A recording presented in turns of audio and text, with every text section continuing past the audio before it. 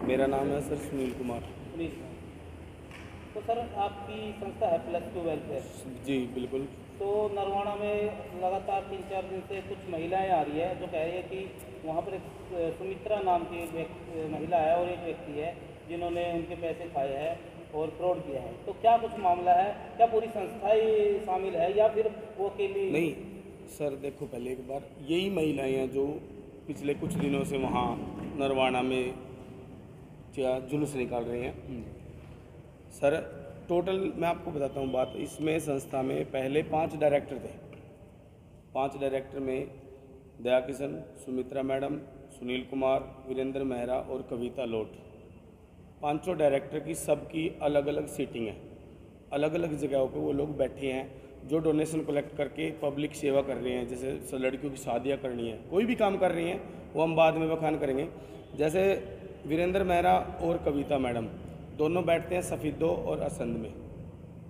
मैं राजौंद ब्रांच में बैठता हूँ। और सुमित्रा मैडम नरवाना टोटल नरवाना से वो कहाँ तक गई हुई है, जहाँ तक भी गई है, वो टोटल सारे का सारा अब तक का सरे उनको ही जाता है, उन्होंने क्या काम किया। अगर वो ऑडिट देती है, अपना बैलेंस शीट अपना चिट्ठा अगर हमें सौंपती है, यानी गवर्नमेंट के आड़े आ जाता है, भाई हमने इतना डोनेशन कलेक्ट किया। था और इतने लोगों की हमने कि हेल्प की है, इतने लोगों को हमने मदद किया है तो संस्था उसको पूरे को कवर करेगी। और जो लोग बच जाते हैं, जो अभी पीड़ित लोग हैं, भाई हमारा यू रह रहा था हमारा वो रह रहा था, इतना हमें मिलना था, वो सब संस्था के माध्यम से उनको मिल जाएगा। अगर मैडम एक बार अपनी ऑडिट बैलेंस शीट दे देती है और आईटीआर भी भरवा देती है, भाई उसकी संस्था में, अगर मान लो उसकी ब्रांच में, संस्था में दो ये सभी का कहना है कि भाई सात करोड़ रुपए डोनेशन आया उनके पास। इकतीस मार्च 2021 से लेकर बाईस से लेकर अब एक अप्रैल तक का जो ब्यौरा है उसका वो भी नहीं दिया। और उसके बाद अप्रैल से जो नया सेशन शुरू हुआ, तेईस से चौबीस का, उसका भी अब तक हमारे पास ब्यौरा नहीं आया। यानी जो ऑडिट, उसने देनी थी ऑडिट बैलेंस शीट और एनुअल रिपोर्ट अब तक वहाँ की तैयार नहीं करवाई है उन्होंने। तो उसके बारे में मैं इन लोगों से एक भी बात नहीं कह सकता कि भाई मतलब मैं कवर करूँगा। मैं तब कवर करूँगा जब सुमित्रा मैडम अपना हिसाब करें, इन सबको साथ बिठा के बताए कि भाई इतना आया था। देखो, यहाँ पे बोल दिया, भाई दस लाख रुपए आया था। दस लाख की हम तो मान लेंगे। अब उन्हीं लोगों को ऐड करेंगे जो जो लोगों का उनमें नाम होगा। अब फॉर एग्ज़ाम्पल कुछ महिलाएँ, जैसे मंजू जी हैं इन्होंने काम कर दिया पच्चीस लाख का वहाँ पे। अगर हमारे पास ब्यौरा इनका पाँच लाख का है तो हम तो पाँच लाख को ही मानेंगे। भाई, पाँच लाख इन्होंने डोनेशन कलेक्ट किया।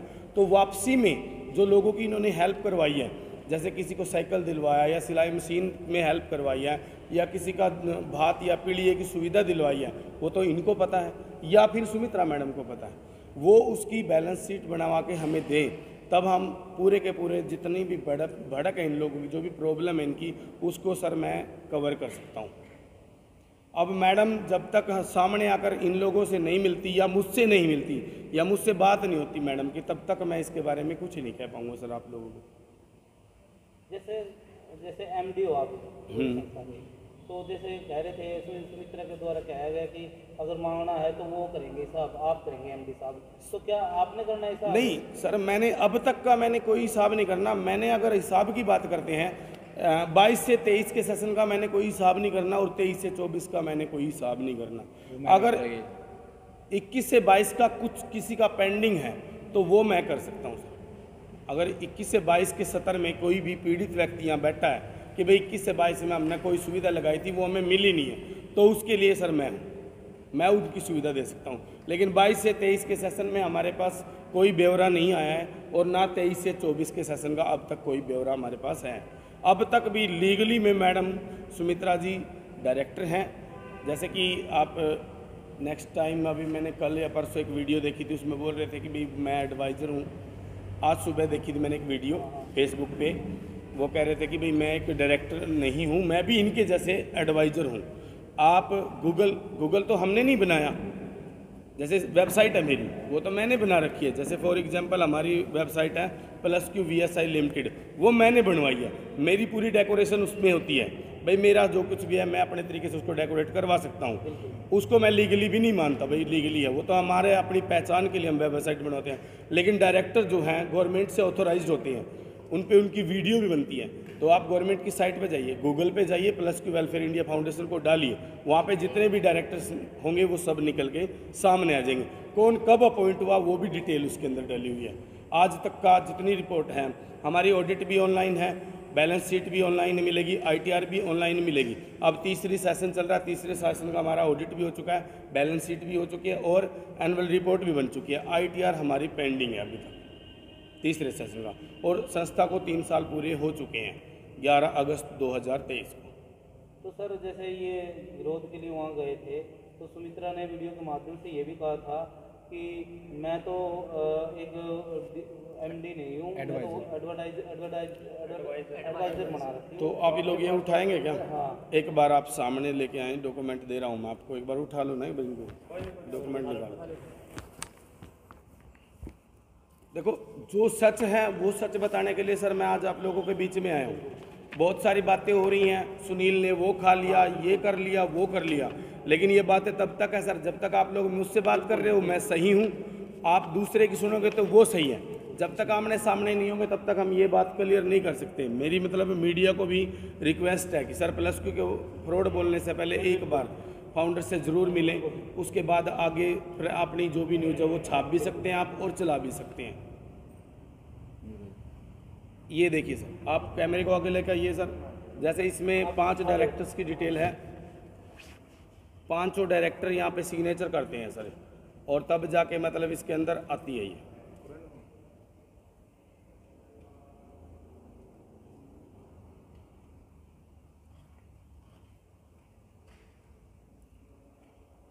यहाँ पे भी देखिए सर, ये मतलब इसमें मैं मुंबई गया था, मैं डोनेशन के लिए कंपनी में, ये पाँचों डायरेक्टर के द्वारा मुझे ऑथोराइज किया गया था कि भाई आप डोनेशन कलेक्ट के लिए बाहर जा सकते हैं।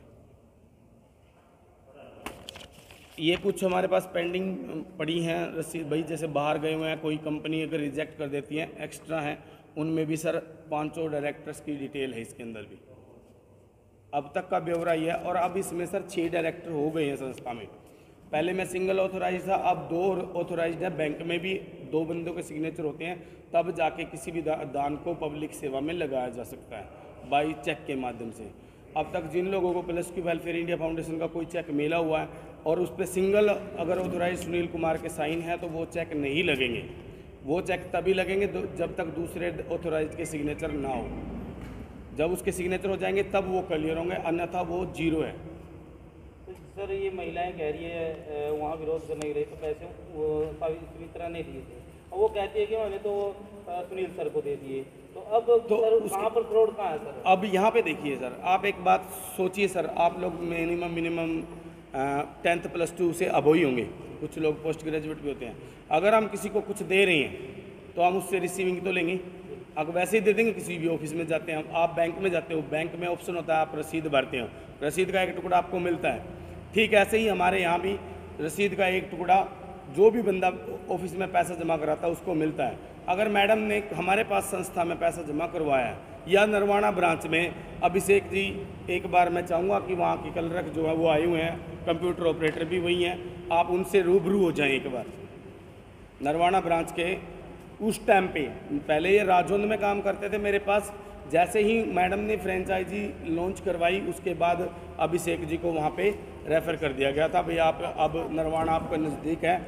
आप नरवाना में जाके बात कर सकते हैं। अब ये बताएँ अभिषेक जी से बात कीजिए क्या इनके द्वारा पैसा कभी जमा करवाया गया था क्या वहाँ पे? आप आप पीछे जाओ थोड़ा सा। आप आ जाओ।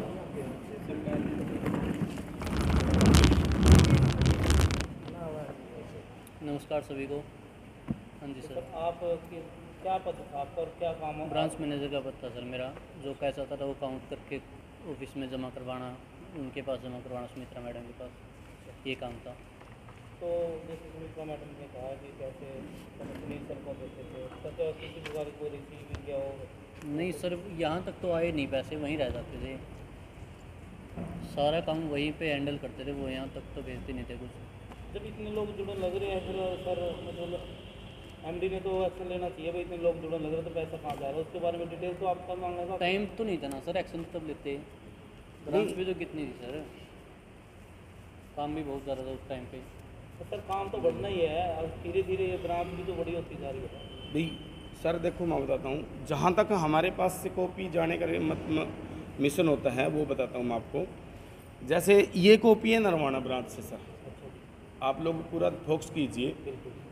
और प्लस टू को सर मतलब एक वो बना दिया इशू बना के मतलब वो किया जा रहा है। ये है सर ओरिजिनल अच्छा पासबुक इसमें भी डुप्लीकेट किया देखो ना सर है कि नहीं है? एक बार मैच तो कर लो। बिल्कुल अगर आपको लग रहा है कि भाई हाँ है तो आप देखिए ये ओरिजिनल है सर। अच्छा जिन लोगों के पास ये क्या हुआ? जैसे मतलब ऑथोराइज थे वहाँ पे एक एक ही हमारी प्रेस है।